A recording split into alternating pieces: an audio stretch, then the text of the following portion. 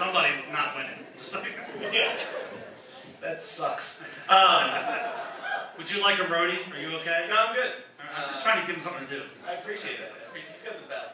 Um, so let me preface this by saying that I am not a bad person, although I may have, I may have been a bad person as an adolescent. Um, my mother hated Adam Hobbs, and Adam Hobbs was the closest in, geographically friend that I had in the country where I live. I mean, in the country, not in a different country. Um, so Adam Hobbs spilled lemonade on my mom's wall, um, and that made him be banned from my house um, by my mother. And then she said that he didn't have a mother who was um, present, I think was the word, enough to discipline Adam. So she sat Adam down at my kitchen table and read him the Riot Act and told him that he should be ashamed of himself.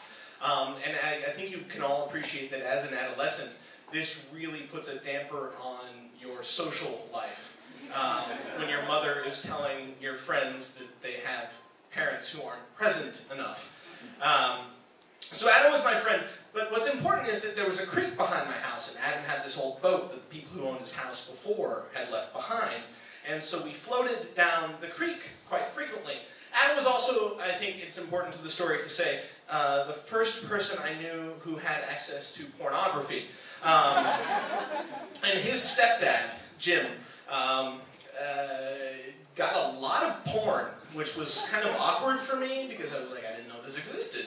Um, but like Penthouse and Hustler, it was gross, um, but also exotic. So we would float down uh, the creek in this plastic boat. Um, and Adam would read to me from Penthouse Forum. Um, which now might be uh, romantic, but at the time I realized was just my age of exploration. Um, so Adam would read from Penthouse Forum, and I knew where they were kept in his house, and it was awesome. Um, and so this is where the bad person happens. Uh, so Adam and his family were running errands or something, and I could see his house, and I could see the driveway, and no one was home.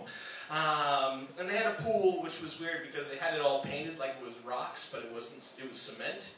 And I was like, "Who are you trying to fool? Not us, because we all know it's cement. Come on." Um, so I ran over to the house, and it was down a hill and up a hill, and I opened the back gate, um, and no one was home. I was pretty sure. Um, and then I snuck up the stairs to the deck on the because it was walkout basement because it's in Illinois, and hey, ranch houses are cool. Um, and like the sliding glass door to the living room or family room because there's a difference I've never understood um, was open and so they're gone and I'm like 13 14 and I slide open the glass door to their house and I like sneak in and like I'm in someone's house and they don't know I'm here um, and I sneak into his parents' bedroom, which is awkward, right? Um, but I, we've been there before because Adam has read to me from letters from, I don't know, some magazine where boobs were present.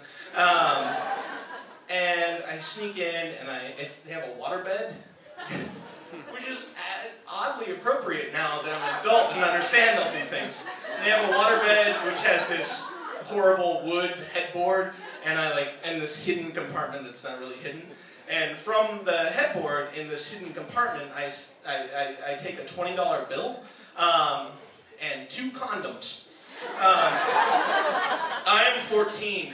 Um, it's not until about, well, much later that I have any use for condoms. Um, but I take them because that's what cool kids have. Um, and so then I leave the house very quickly. Thank you.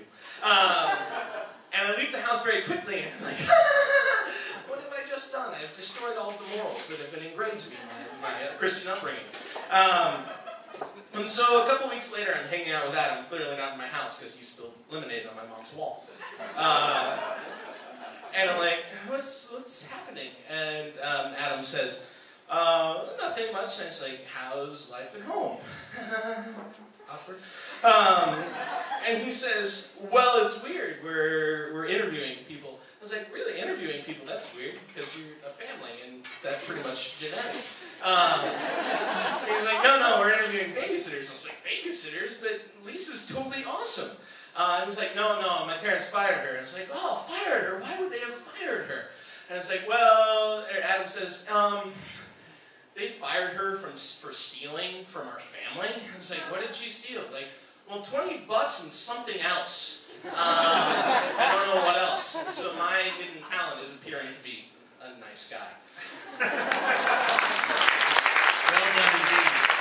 I have to say, that whole trick